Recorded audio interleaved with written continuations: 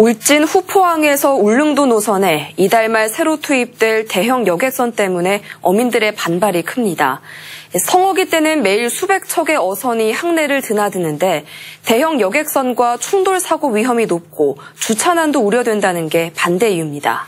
선사와 허가기관인 포항지방해양수산청, 지자체가 합동으로 항구 저반과 울릉도까지 시험 운항을 하면서 점검한 결과 별다른 이상은 없었지만 어민들의 걱정을 털기에는 역부족입니다. 김형일 기자입니다.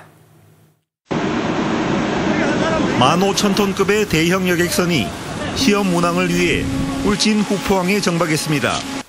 길이 140m, 폭 22m 크기로 승객 628명과 승용차 200대를 실을 수 있습니다. 울진군도 지역 경제에 긍정적인 파급 효과를 기대하고 있습니다.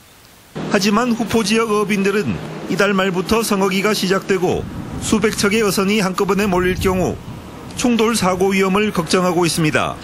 우리 어선들하고 같이 지금 공존을 하기가 좀 힘들 것 같습니다. 연근의 어선들이 여기 하루에 180척이 왔다 갔다 합니다. 근데 이 배하고 과연 같이 입항을 하고 출항을 하고 할 수 있을지 그게 제일 의문스럽습니다.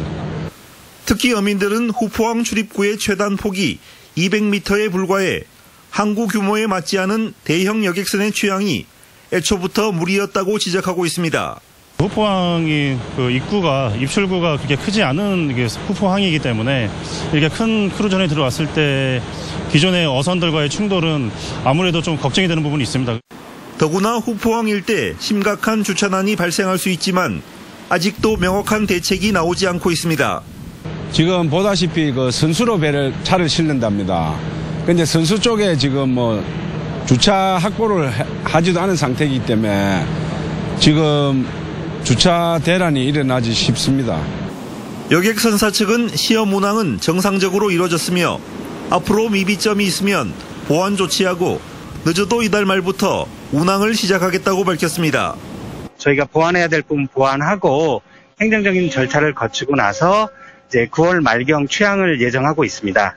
어민들과의 이런 마찰 부분은 그 회사에서도 최선을 다해서 그 협의해가지고 문제가 없도록 여객선사와 반대 어민들이 수차례 협상 끝에 이번 시험 운항에는 합의했지만 안전성에 대한 양측의 입장차가 워낙 커 앞으로도 큰 난항이 예상됩니다. MBC 뉴스 김혁일입니다.